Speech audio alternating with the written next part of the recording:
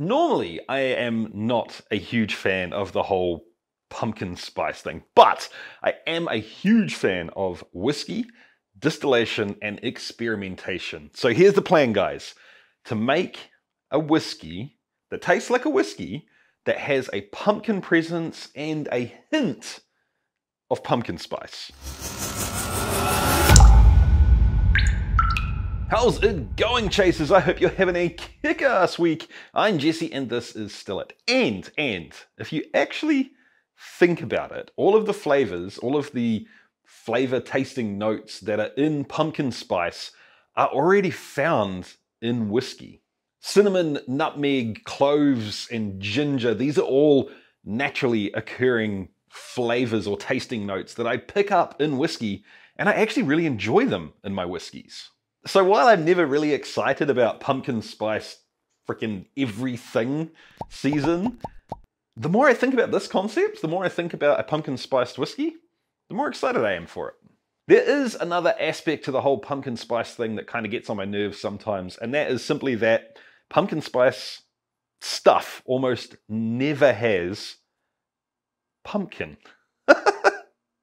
So when we make this whiskey, we are definitely going to be using pumpkin. We're going to be using a little bit of pumpkin spice, but we're also going to be using some standard whiskey ingredients and techniques that are going to help to augment flavors in the direction we want, like the yeast choice, for example. That's going to be coming up later, obviously. Our grist today is going to be 12 kilograms of ale malt, one kilogram of oats, half a kilogram of light chocolate, and one and a half kilograms of dark crystal malt. Uh, don't worry, guys, don't fret. All of the recipe, the entire process is going to be in the description down below in both metric and freedom units.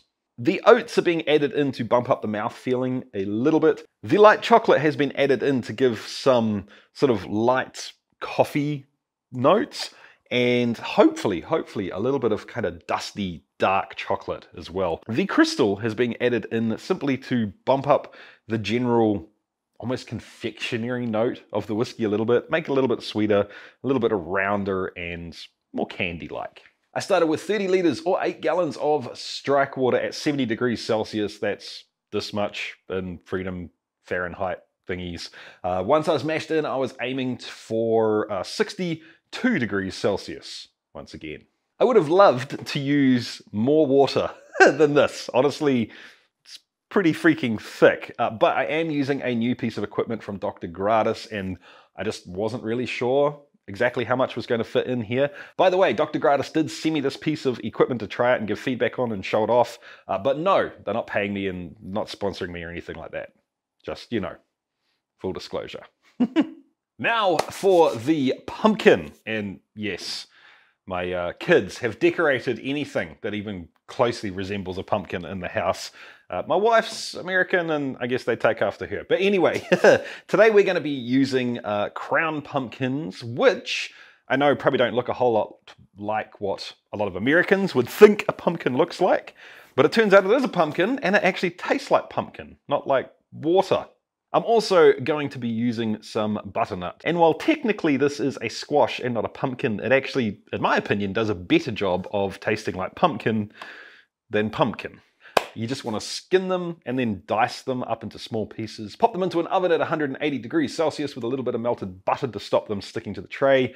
Uh, and roast them until they're just starting to be tender and sort of borderline cooked all the way through, at which point pull them out to drizzle a little maple syrup over the top of everything, give it a toss, pop it back into the oven until it is completely cooked through and it's developing a nice little bit of browned sugar color and flavor.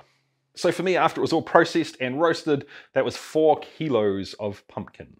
Back over at the mash tun, it's time to add the pumpkin in. And yes, obviously you can prepare the pumpkin ahead of time. I certainly did. Once the pumpkin goes in, I topped the mash tun up to the very tippy top. Because like I said earlier, this is a very, very thick mash.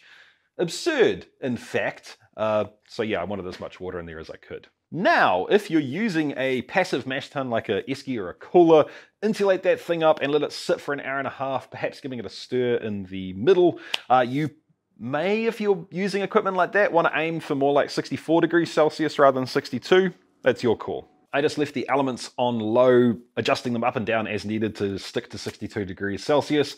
Gave it a really good stir every now and again and recycled some of the wort from the bottom of the, the pot up to the top just to keep everything flowing through and make sure nothing, you know, scorched down in the very bottom of the mash tun. I mashed for a total of an hour and a half, which is obviously more than enough time for the grains, but, you know, with the pumpkin, give a little bit extra time. Once the hour and a half is up, it's time to mash out, which just simply means getting the liquid out of the grain and into your fermenter. So I just opened the spigot at the bottom of the mash tun and transferred it over into a fermenter with a, a cooking pot. Once all the free-flowing liquid is out, it's time to batch sparge, which just means filling the entire mash tun up with 70, 75 degrees Celsius water, giving it a little stir if you're not worried about the wort being clear. I'm not. Uh, and draining it all back out again. Now you can keep repeating this process as many times as you want. The more you repeat it, you're going to get more volume and more total sugar into your mash tun, but you are diluting your original gravity. Just keep that in mind. For me personally, I kept sparging until I had 65 liters in the fermenter at 1.062 original gravity. Once the wash has cooled down to 25 degrees Celsius, it's time to pitch our yeast. And yeast is another point in the process where we can sort of help nudge flavors in a certain direction or help to sort of craft the flavor profile of the whiskey. After a whole lot of thinking and pondering about this, I decided that a wit beer yeast was going to be the yeast that would fit the flavor profile of what I'm trying to accomplish here the best. And for that reason, I'm going to be using Angel Yeast WA18. Angel Yeast actually is sponsoring this episode. Thank you, Angel Yeast. Home distillers are probably most likely to know Angel Yeast from their baker's yeast, which I've used for things like vodkas a whole lot, uh, and of course their yellow label yeast, which I used to make the distilled rice wine. That stuff is freaking magic. But uh, turns out they actually have a whole range of beer yeasts as well. If, however, you do want some more information on their products, check the description. Anyway, guys, the reason I wanted to use WA18 is because it has a tendency to throw some fruity, sort of heading banana-y, estery flavors, along with some baking spice, sort of focusing mostly on the clove. I hope it's obvious why I think this yeast is going to fit this recipe really well. So I pitched 25 grams of the angel yeast at WA18 and fermented it at 25 degrees Celsius. Both of those things were done to try and promote more of those flavors coming out as the yeast ferments. 12 days later, it's fermented out down to 1.006 and it's starting to develop a little bit of lacto as well, which is fine by me. So I filled the pot up with 40 litres or around 10 gallons of the wash uh, and got stuck into the stripping run. Now, I couldn't put more than that in there because I was kind of terrified that this was going to puke all over the place. So I uh, set a couple of empty sight glasses at the bottom of the column. This is 100% running as a pot still. There's no plates in there. I just wanted to be able to see through those windows to be able to control the power up and down as we got closer and closer to puking. For this run, I collected down to 10% coming off the still. Uh, I'm not too worried about the yield on this, to be honest. I don't care at all for this whiskey. It's more that I'm very aware that flavors like pumpkin and spice are likely to sit down very close to the tails. So empty the leftovers out of the still, add the low wines back in along with all the rest of the wash that was sitting in the fermenter and get ready to start the spirit run. But, but, you didn't actually think I was done with the pumpkin yet, did you? no way. Another two kilos of pumpkin prepared in exactly the same way as the first lot, with one minor difference. Five minutes before the roasting was done, pulled the tray out and sprinkled some pumpkin spice all over the top of it. Two teaspoons to be exact. I just wanted to give it a little bit of time in the oven to toast, just a little bit. I prepared that pumpkin ahead of time and then popped it into the pot along with the low wines and the rest of the wash. If you want to make your own pumpkin spice the same way that I made mine, here it is. I'll read it so I don't screw it up. Uh, one part ground cinnamon, one quarter part nutmeg, one quarter part ground ginger, and one quarter part clove. And guys, fresh grind your stuff. Makes it a whole lot better. This time I actually did employ two bubble plates. So we're going for a lighter, more towards a column stilled whiskey here. But we still need more pumpkin. So above the dephleg, I had another empty sight glass with, you know, no bubble plate in it. I packed a little bit of copper on the bottom and up through the middle just to ensure that soggy pumpkin didn't block anything off and nothing crazy happened. Uh, and then around that, I stacked more, more of the pumpkin that was roasted and sprinkled with pumpkin spice. In terms of cuts, I took a very conservative 250 mils of foreshots uh, and then collected heads down until the point where the hearts were just starting to show, kind of at the, the dicey line. And I collected a fair bit of kind of dicey or second hearts in a large container, all the way down until the point where the flavors that we are really looking for started to show up. The crystal sort of candy, the grainy flavors, the uh, chocolates, the coffee, um, and some of the pumpkin and the spice. When those started showing up, I switched over into what I sort of called hearts for this run. Uh, when we got down a little bit lower, we started hitting that wet dog and cardboard. And I have to say, guys, unfortunately, pumpkin and wet dog is, oh, they come, they're pretty close.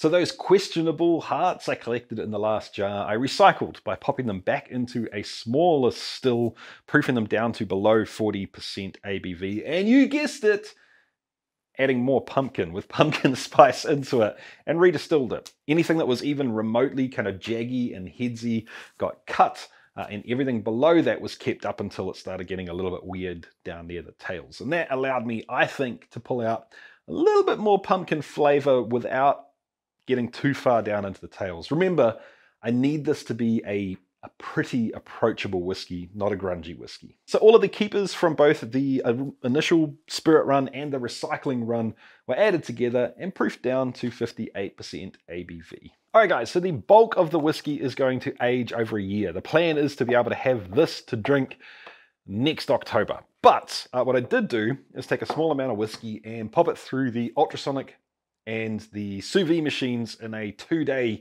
forced aging experiment with some toasted, not charred French oak. And the idea with the French oak is to sort of double down on those spicy, interesting notes to try and play along with the pumpkin spice itself. Guys, I'm getting a little bit sick of saying this, but when I don't say it, someone always I don't know, completely misinterprets me. I don't do this because I think it tastes amazing right now. It tastes, it actually tastes pretty good but I do it to give me a analog of what I think might happen in this over time, and perhaps if it's not going to work, change tact now. So uh, some quick tasting notes, shall we, guys? On the nose. But before that, I need to say a huge, huge thank you to the Patreons. Thank you so much, Patreons. I get to do this stuff because of you, and I, I really, really do appreciate it, guys. Thank you. It smells like whiskey. Funnily enough. But in all seriousness, guys, it really does smell like whiskey. It doesn't smell like a crazy novelty drink. The plan for this was always to make a whiskey with a little bit of something else, like sitting right on that edge of, wait, is this is this normal whiskey or is this flavored whiskey? There is some grain. There's actually some dusty sort of dark chocolate in there as well, which is wonderful. I'm very happy about that. I think kind of the cloves and the cinnamon. I get those flavors a lot from from wood spice, but there's just a hint of nutmeg coming through. If you really go looking for it, that that isn't quite a normal whiskey flavor. The only aroma that doesn't jive is I'm getting a very slight amount of raw pumpkin, which is bizarre to me. I do often get kind of a green grassy note from fresh whiskey, and I kind of wonder if that green pumpkin is similar to that and that's going to fade away in time because the green grass note normally does fade. There is roasted pumpkin in there.